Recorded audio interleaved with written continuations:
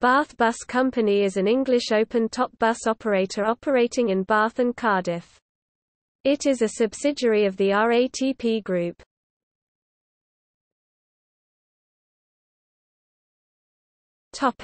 History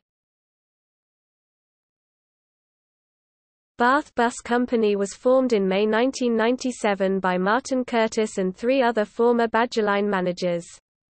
It commenced operating open-top tours in Bath with Bristol VRTs and an AEC Routemaster. It diversified into the operation of tendered services. In 1999, Bath Bus Company became a city sightseeing franchisee. In June 2004, the business was purchased by Ensignbus, who transferred its existing city sightseeing operations in Cardiff, Eastbourne, and Windsor to become part of Bath Bus Company.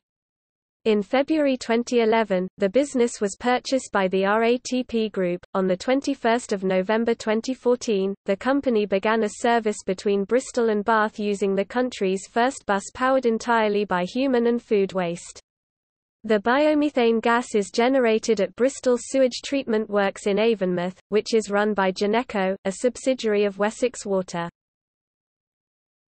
Topic services As well as open-top bus tours in Bath, Cardiff and Windsor, Bath Bus Company operates a service from Bath to Bristol Airport branded as Air Decker. Airport service archived 16 October 2014 at the Wayback Machine.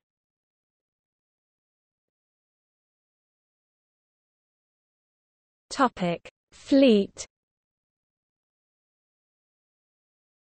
As at October 2014, the fleet consisted of 36 buses.